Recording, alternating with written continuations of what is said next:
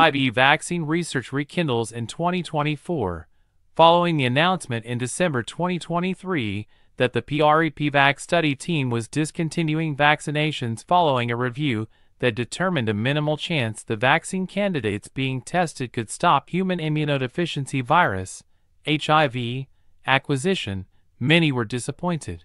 With an estimated 1.3 million people worldwide becoming infected with HIV annually, there is a tremendous unmet need for a preventive vaccine.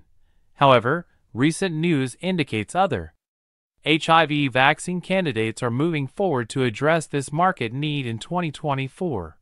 Uvax Bio, LLC, a spin-off vaccine company from the highly regarded Scripps Research, is utilizing rational and computational biology to design and deliver novel 1C SApNP protein-based vaccines. With great anticipation, Uvax announced on February 1, 2024, that the first participant was dosed in a Phase 1 clinical trial in Australia evaluating the company's HIV-1 vaccine candidates, UVX1107 and UVX1197. The two antigens differ insofar as UVX1197 retains the virus wild-type glycan shield, while UVX1107 has a portion of the glycan shield removed through glycan trimming, GT. GT is an enzymatic removal of glycans to allow better access to the conserved neutralizing epitopes on HIV-1 Env. The UFO trimer, 1C platform, and glycan trimming strategy were developed by Dr. Jiang Zhu, Associate Professor, Department of Integrative Structural and Computational Biology at Scripps Research.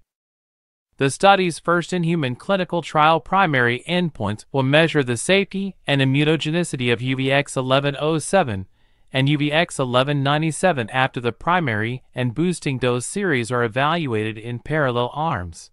The study will also determine whether either vaccine or combination produces the optimal immunological response. In today's press release, Uvax Bio stated that it expects to report top-line data from the Phase 1 trial in the fourth quarter of 2024. Ji Li, PhD, Uvax Bio CEO commented, UVX1107 and UVX1197 represent an advancement in HIV vaccine technology with industry-recognized innovations in our antigen design and delivery. I am proud of the Uvax Bio team for bringing our promising HIV-1 vaccine candidates into human testing, a significant milestone for the company.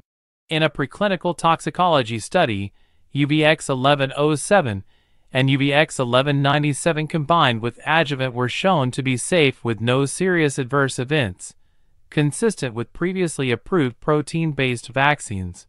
Additionally, a second preclinical immunogenicity study demonstrated immunization with UVX1107 and UVX1197, which elicited robust neutralizing antibody responses against the vaccine-matched virus in 99% of the animals. Furthermore, preliminary screening assays demonstrated appreciable neutralization in serum when tested against a panel of primary HIV-1 isolates. The HIV Vaccine Trials Network says there are many types of vaccines. Still, all generally work by teaching the immune system to recognize and fight back against a disease-causing microorganism. Some vaccines are designed to help the immune system prevent an infection and are called preventive vaccines.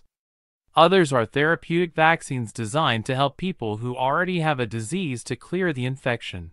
Currently, there are no effective HIV vaccines of either kind approved by the US FDA.